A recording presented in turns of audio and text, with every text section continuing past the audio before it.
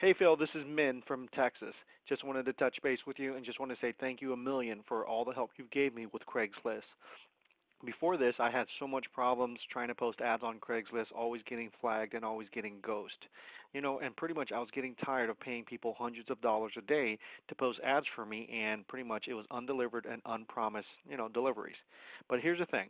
When I found you, you were pretty much honest and straight up with me. You pretty much told me how it was. I mean, no no sugarcoating things and no fluffing it trying to make the sale. You actually was straight up with me and you actually told me what I should expect by using Craigslist and your customer service.